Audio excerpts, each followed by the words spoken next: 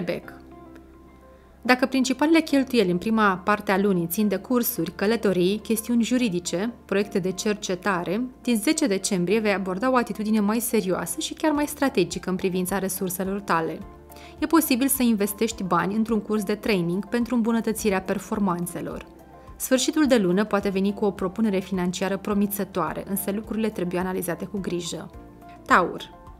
Sectorul financiar este în prim plan. Ești mai determinat în a-ți cere drepturile în prima parte a lunii, mai ales dacă nu ești plătit corespunzător cu munca și efortul tău. Vei căuta să atragi atenția asupra ta și a valorii pe care consider că o meriți, iar în a doua săptămână a lunii ai toate șansele să faci progrese semnificative. Dacă ți se propune un parteneriat de business sau o propunere de afaceri, oricât de tentant ar putea să pară, caută să vezi dacă este practică și realizabilă. Gemeni o lună avantajoasă financiar. Mercur, propriul tău guvernator, urmat la câteva zile de Venus, vor intra în Capricorn pe 6 și respectiv 10 decembrie, activând sectorul afacerilor și al investițiilor. Poți primi un bonus, un ajutor din partea cuiva sau o veste bună legată de o moștenire sau un plan de economii.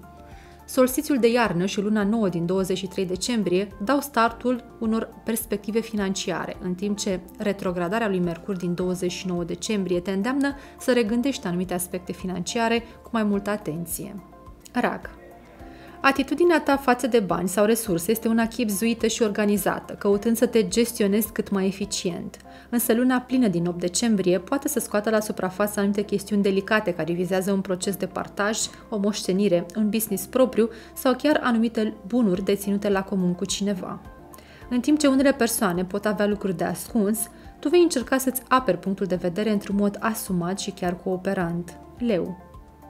O lună în care o perspectivă practică în privința gestionării resurselor poate să fie de mare folos.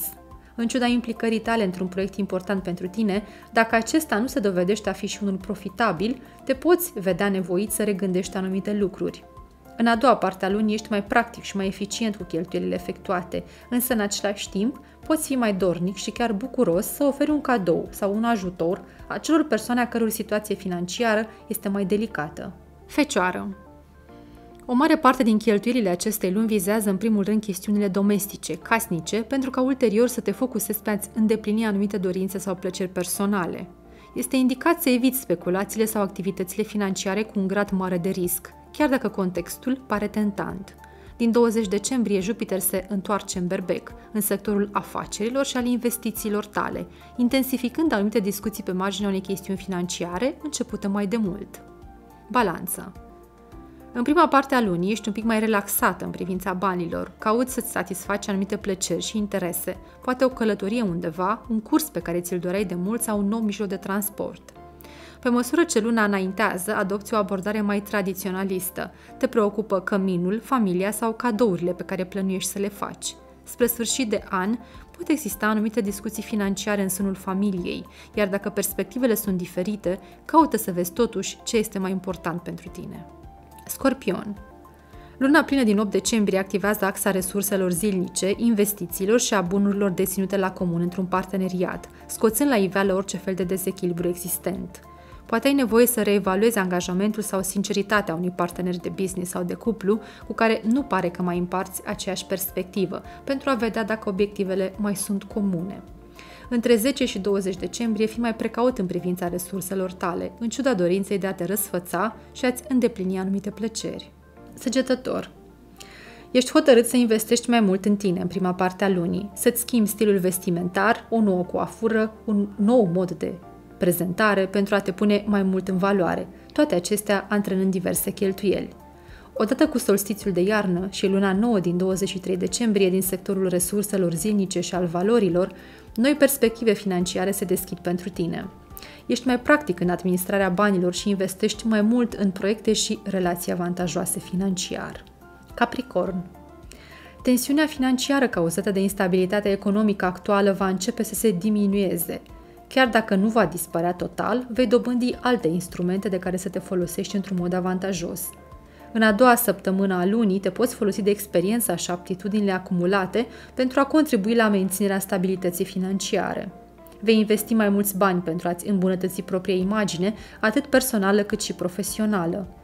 Odată cu solstițiul de iarnă, ți se recomandă mai multă prudență, întrucât ești tentat să investești într-o metodă de îmbogățire rapidă. Vărsător Ești mânat de impulsuri și dorințe puternice în prima parte a lunii, fapt care te poate determina să cheltuiești destul de rapid. Jupiter se află încă în sectorul finanțelor tale până pe 20 decembrie, ceea ce amplifică dorința de a te răsfăța cu lucruri și activități frumoase, deosebite. Se recomandă mai multă precauție în intervalul 10-20 decembrie la orice fel de proiecte de viitor sau aspirații profesionale. Asigură-te că le poți implementa într-un mod eficient și practic. Pești Poți fi un pic mai grăbit în modul în care cheltuiești în prima parte a lunii, sau poate o situație anume te forțează să efectuezi anumite achiziții care vizează situația propriului cămin. Din 20 decembrie, Jupiter se reîntoarce în berbec în sectorul finanțelor și al valorilor tale, ceea ce va amplifica dorința de a-ți îmbunătăți acest sector. Odată cu solstițiul de iarnă, însă anumite planuri sau proiecte de viitor la care lucrezi vor avea nevoie de o susținere financiară concretă, deci este important să fii cât mai realist.